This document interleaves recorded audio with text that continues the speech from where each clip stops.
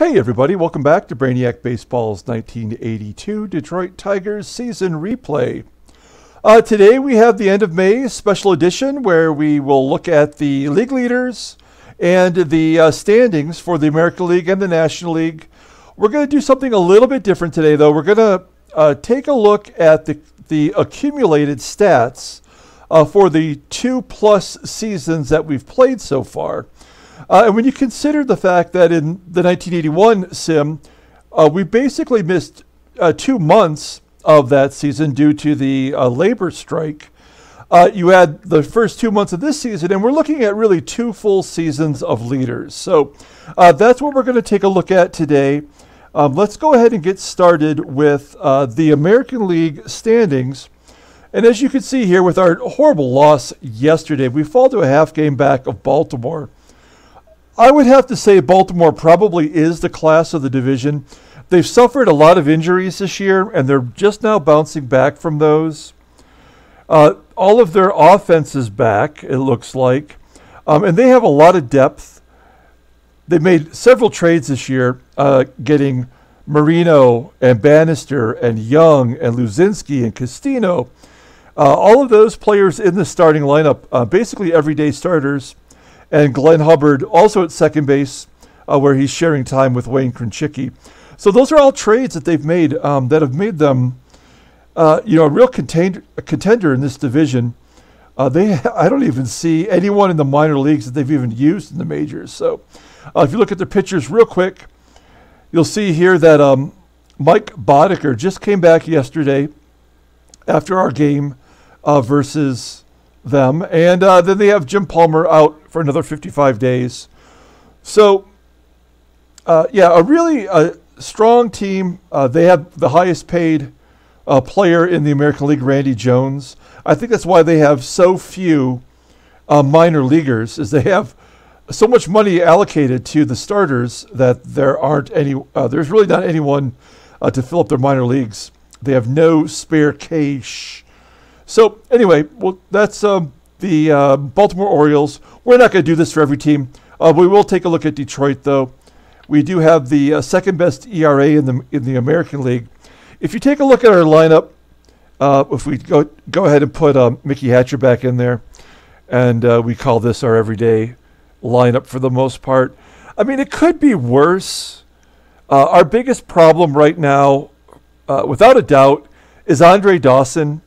Uh, we paid him big money, uh, $320,000 for this year, next year, and he has not produced uh, one iota. I mean, he has uh, 26 RBI, so that's pretty decent. Like he'll, he appears to be coming through in the clutch. I mean, 26 RBI in 47 game games is pretty decent, but his OPS is under 600, uh, which is just, um, you know, just devastating to our offense.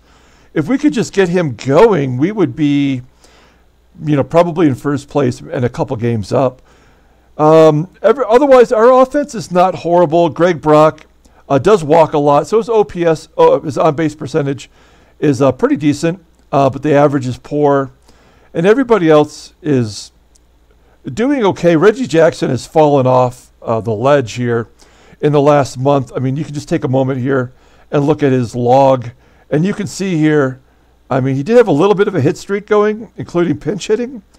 Um, he's batting 268 in the last 20 games, but he hasn't had a hit in his last 14 at bats plus, probably. So, not great. Um, he has provided us with some home runs, which we did not expect. So, we'll take uh, any uh, power that we can get. We are leading the American League in home runs. Actually, we're leading all of baseball in home runs right now, I believe. And then you take a look at our bench. AAA, uh, we've got nobody to really work with. Uh, Jeffrey Leonard, of course, was projected to be our right fielder this year. But Glenn, uh, Glenn Wilson stole it from him, and uh, we won't even probably need him this year the way things are going. He is a free agent at the end of the season, so we may uh, attempt to trade him to a team that could possibly use him so we don't completely lose him. Um, if you look at our double A, uh, again, really nobody here ready to move up. Hojo actually did play in the 1982 season. uh, but I don't foresee him making it. Uh, Andres Galarraga, our first baseman of the future, hasn't shown a lot in Double A, and um, our Single A ball players, again, I mean, we really just don't have any batters uh, that we, you know, can use anytime soon. Our pitching is what's really uh, disappointed us this this year. We've already sent down uh, Bryn Smith. We lost Dan Petry for another 53 games. When he comes back with his high ratings, we'll put him right in there. And uh, either Bruce Robbins or Tom Filer will y- lose that job. I don't want to see Bryn Smith again unless it's an absolute emergency. We could actually give Brian Kelly a couple starts. Um, he just got promoted to, to uh, AAA, and you can see he's been a great pitcher in the minors. So he's somebody at age 23 uh, who does have a future for us, but he could also be someone we trade away for an established veteran uh, where we could maybe get somebody we can rely on uh, down the stretch uh, of this baseball season. Our bullpen is struggling lately, but uh, overall they've been pretty good. We really do need an official closer. We're sharing the job between righty lefty matchups with um, Roger Weaver and Dave Rucker. So you know, I'm not I'm not happy with that, but they are getting the job done for the most part. Uh, Weaver does have one blown save, and Rucker doesn't have any. So uh, that's Detroit there.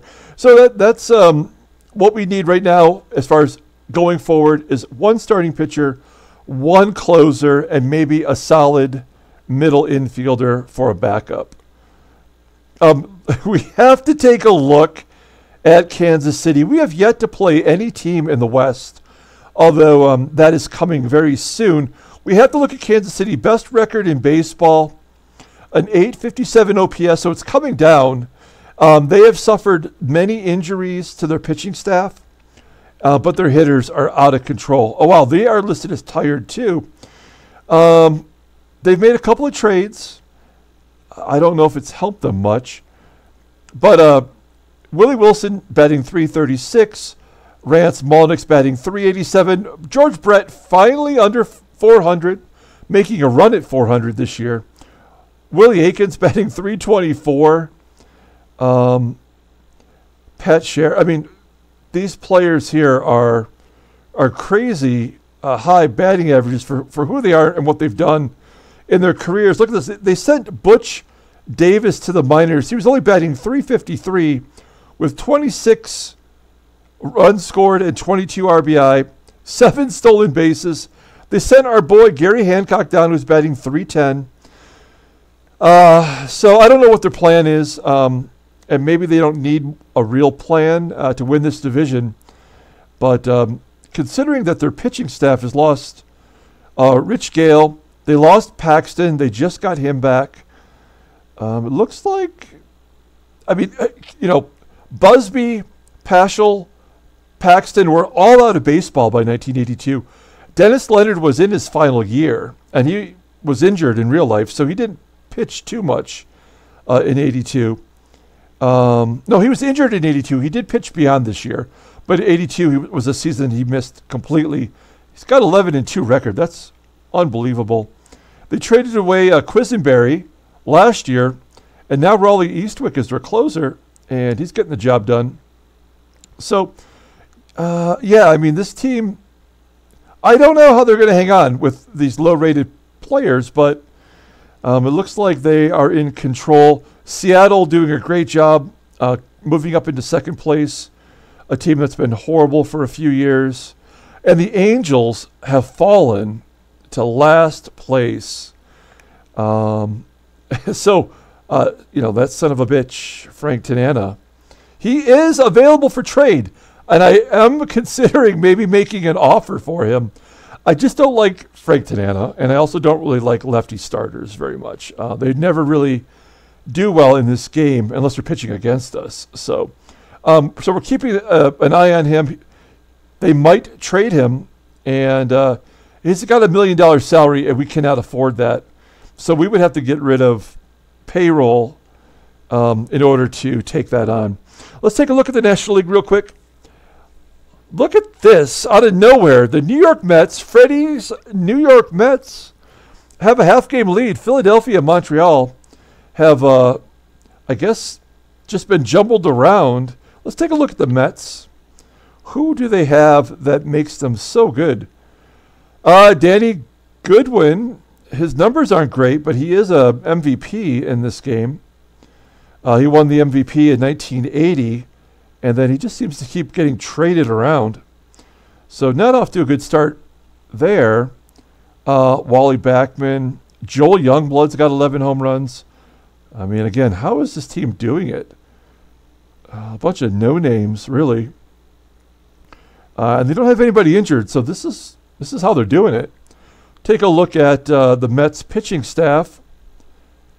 Ownbey, Mike Scott, Craig Swan won an ERA title. Walt Terrell getting called up um, in 1982, not looking so good. Um, and a pretty decent bullpen. And uh, no injuries. So like that's got to be their key, is they're just hanging in there without um, getting injured. So the Mets have a half game lead, and the Reds are starting to pull away. They have the second best record in uh, baseball. And taking a look at this team, they are all about speed. They just traded for uh, Joe Pettini to play shortstop from uh, the, from the uh, Giants organization. They sent him a couple of minor league pitchers, and uh, so yeah, they got Kim Allen from the Mariners last year and Bud Bowling both. Uh, Joe Pettini this year, Dwayne Murphy they got from the A's. Uh, so they're all contributing. Ron Oyster, Ron Estes was the um, player who lost the job at short. They have George Foster on the bench. And uh, anyway, I mean, pretty solid hitting team. Only one 300 hitter, that's Ken Griffey Sr. And then pitching, um, wow, for heaven's the second best record. I don't see a lot here that makes me excited. Uh, but uh, Mario Soto has been injured. Best ERA, I believe, in the National League.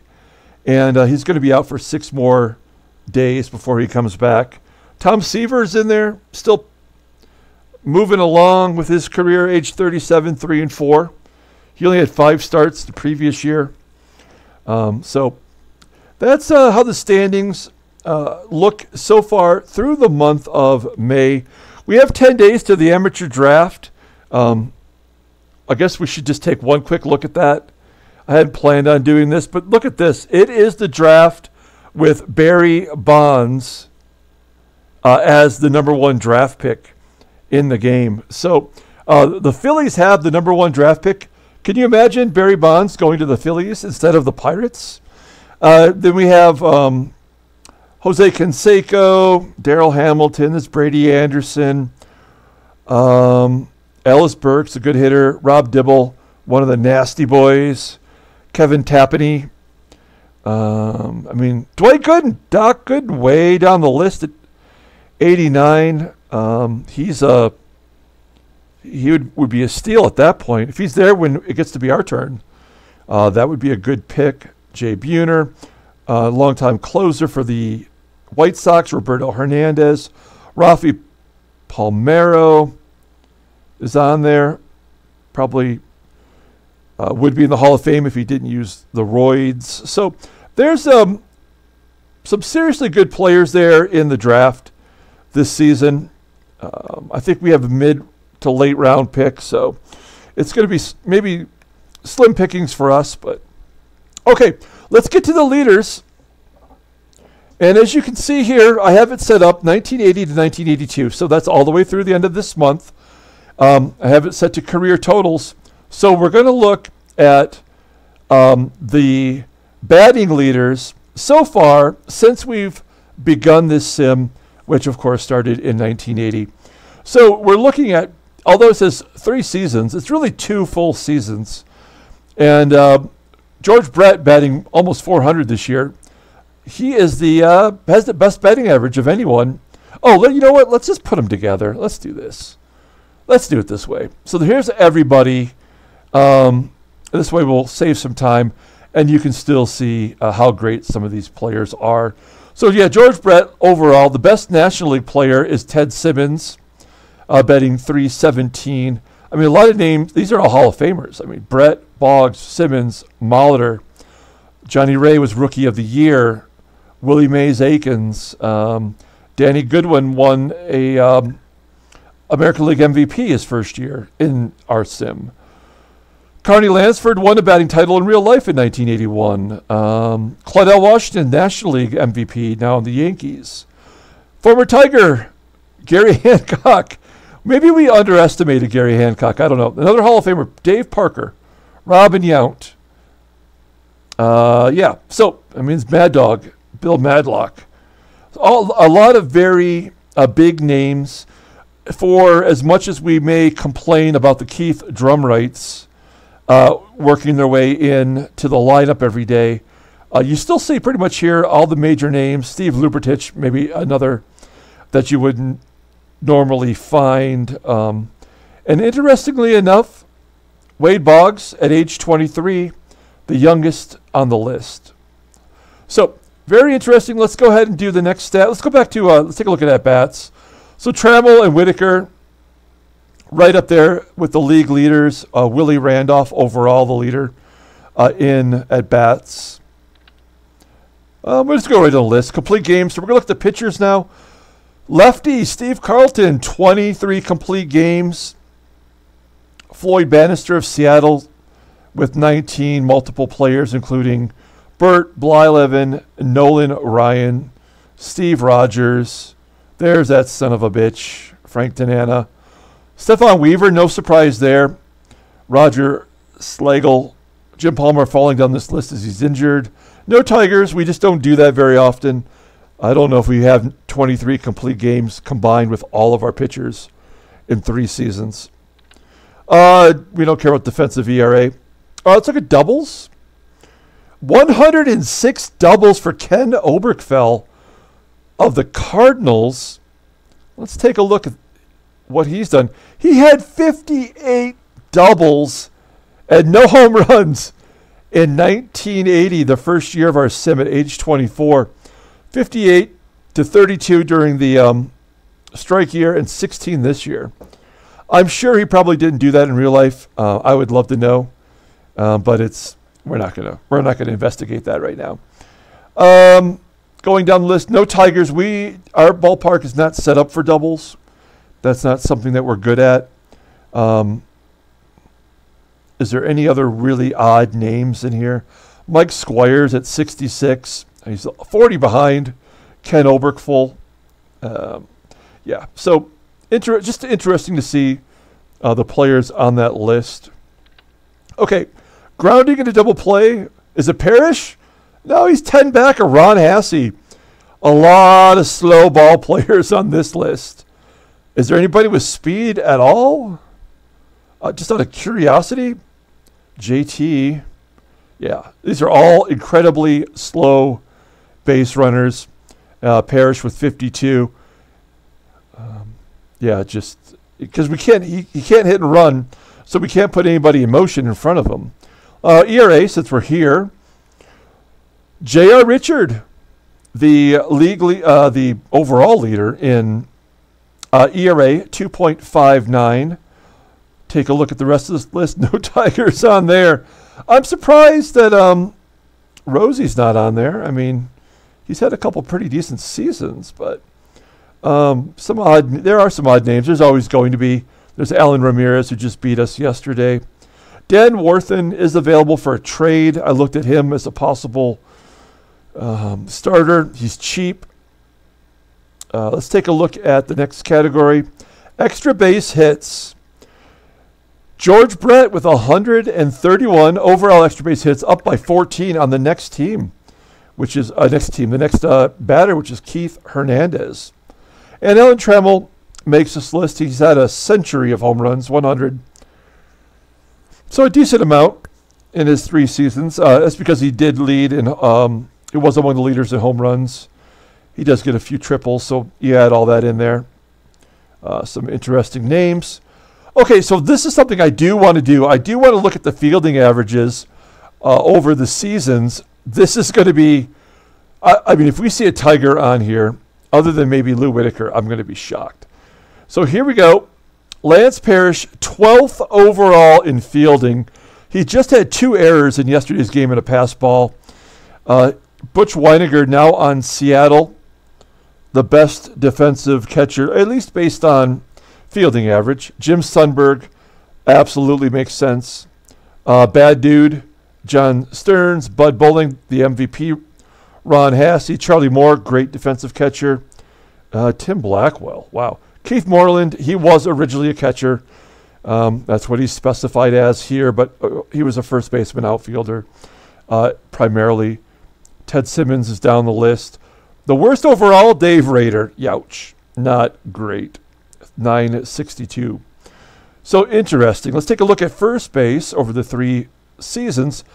Yeah, there's no Tigers here. Uh, we have traded away um, a few names, including uh, Jason Thompson, who, despite winning a gold glove for us, is kind of down the list. Ken Phelps, the worst. Um,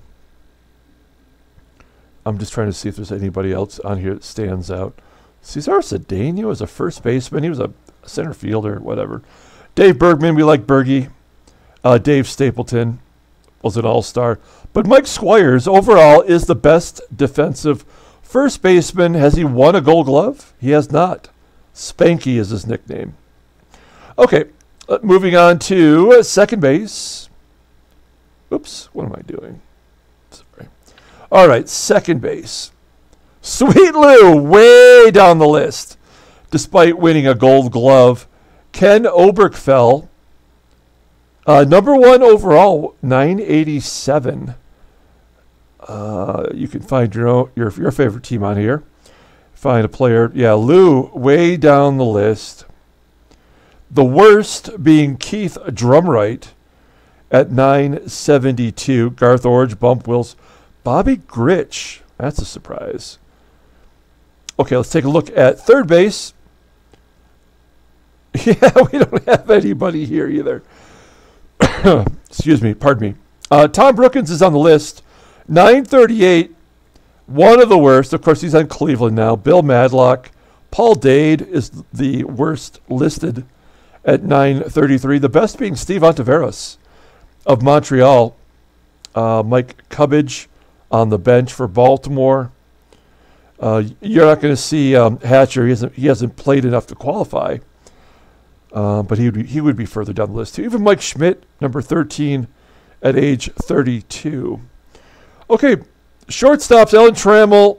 Wow, higher up the list than you might think. I mean, it seems like every other game he is committing an error. The best defensive shortstop so far is Fran Mullins of the White Sox followed by Ozzie Smith. Joe Pettini, who just got traded, number three overall. The worst is Tony Phillips, not a great defensive player. He played second base as well as first, played left field for the Tigers a little bit too. So he's, he's a little bit more of a utility guy. Uh, and you can see here the uh, rest of the shortstops on this list.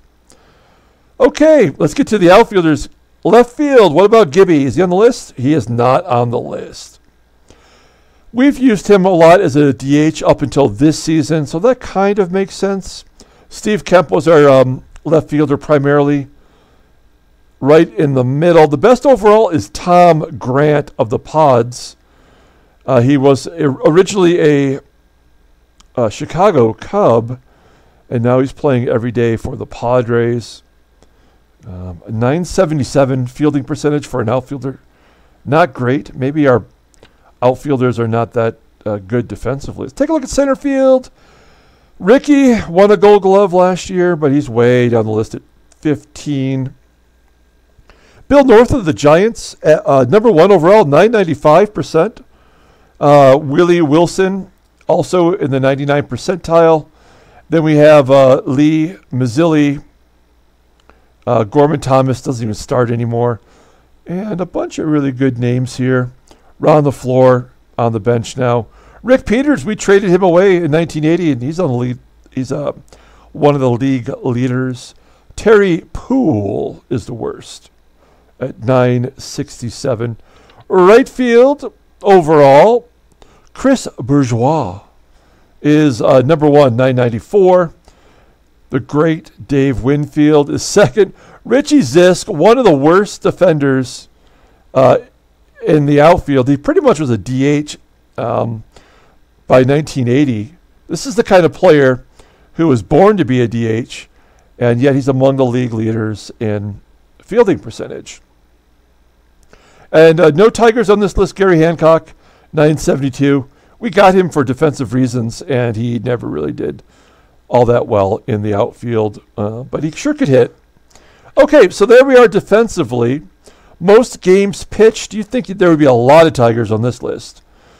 But uh, Roger Weaver is uh, tied for fourth. We have Cappy down the list. He spent some time in the minors. Maybe he would be higher. But uh, Bruce Sutter topping the list at 140, followed by uh, Rollie Fingers, Jeff Reardon, Bert Roberge, uh, Mark Littell. And there's Dave Tobik. Um, he's on Toronto now. Tippy Martinez is available for trade, but he makes too much money. Pat Underwood, another Tiger. So there's a couple other Tigers on this list. Okay, uh, games played overall. Yep, Whitaker and Trammell. I never take them out unless they say they're tired. Uh, and uh, Trammell does come up more often than Whitaker. Are there any other Tigers that are l- gone on this list?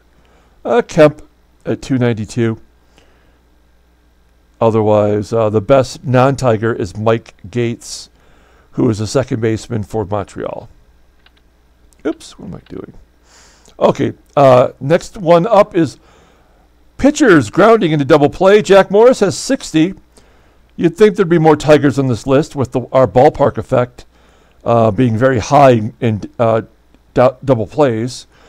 Uh, Doc Medich is number one with Roger Slagle of the Yankees.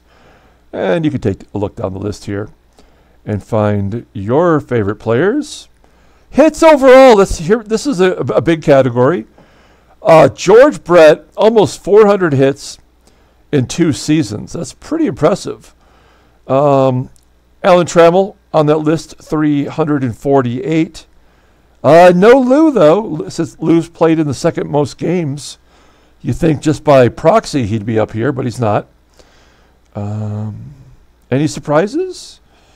Orlando Gonzalez, Kim Allen, he's got speed. He gets a lot of infield singles. Keith Drumright, that's a surprise. Johnny Ray was a, a 280 career hitter, hitter I believe. Um, hits per nine innings. J.R. Richard is the best at that. No Tigers. Hit batters. Carlton, lefties, hit the most batters was 15, and Jack Morris is second with 14. That's a surprise. All right. What players have been hit by the pitch the most?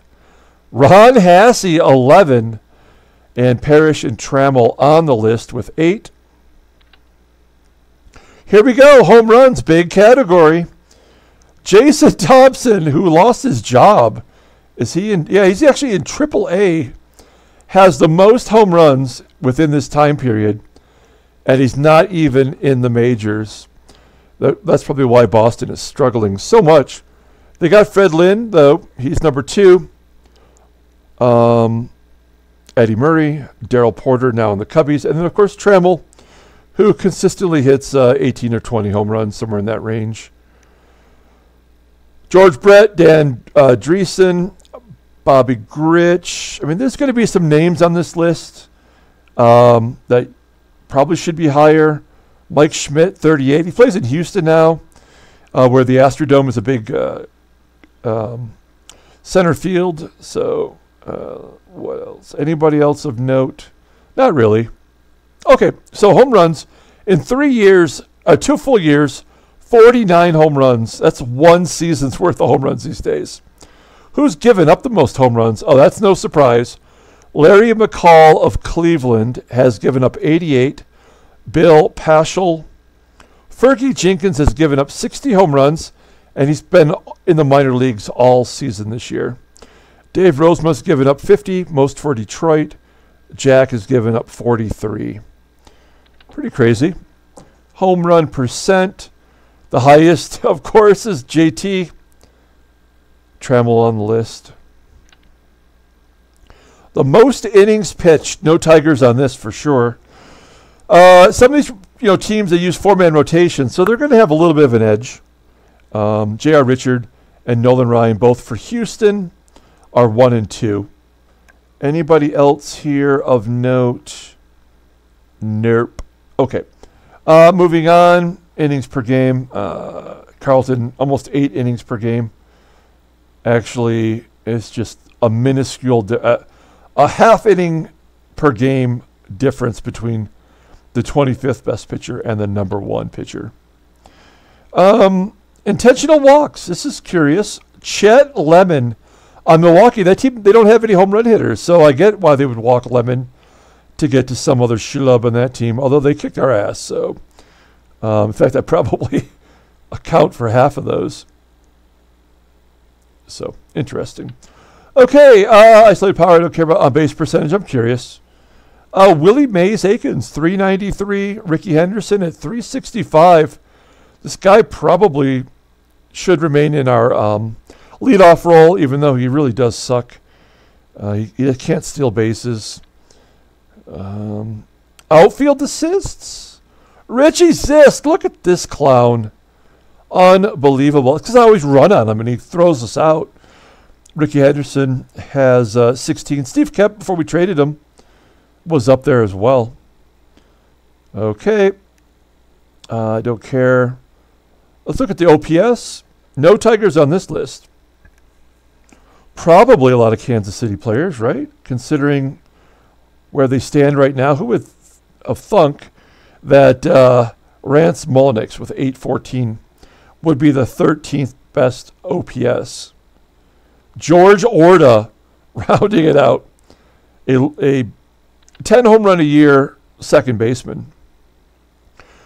Total plate appearances Whitaker number two, Trammell number six, Willie Randolph leading overall. Quality starts, no Tigers on this list, that's for sure. Craig Swan leading overall, getting the job done. Quality start percentage, whatever. We don't care about range factor necessarily. Runs batted in, Trammell number nine overall with 181. George Brett's on there leading the league, uh, both leagues technically. JT, again, not even on a major league roster. And uh, Karl Pagel will round it out with RBI.